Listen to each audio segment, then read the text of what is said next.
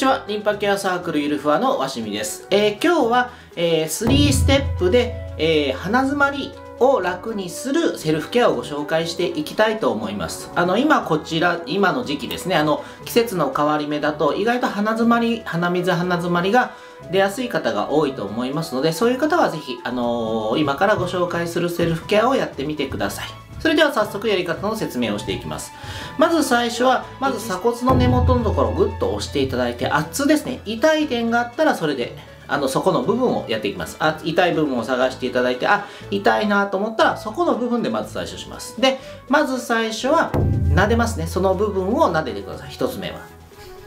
探していただいて、そこからスタートです。で、まず最初は撫でます。で、続いて今度は、その痛かった部分にふわっと触れていただいて、で、触れ方としてはもう本当に皮膚に、皮膚というかもう服に触れるぐらいでもいいので、弱い力で触れていただいて深呼吸です。吸って、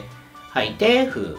吸って、吐いて、ふ。吸って吐いて、ふうですね。で、していただいたら、このっちですね、あの鎖骨の下のところを触れっぱなしにしていただいて、腕をこのようにだいたい90度に曲げていただいて、手のひらを顔の方に向けてもらって、そのまま後ろ回しにくるくるくるくると回してください。だいたい、えー、8、8×4 セットですね。1、2、3、4、5、6、7、8、2、2、3、4、6、7、8、3、2、3、4、67842345678という3ステップですね。で、最後もう一回圧を確認していただいて、もしあればまた最初の最初のステップですね、また撫でるところから繰り返しやっていただく。もし痛い、あの、痛くなくなったら場所を変えてください。で、場所は、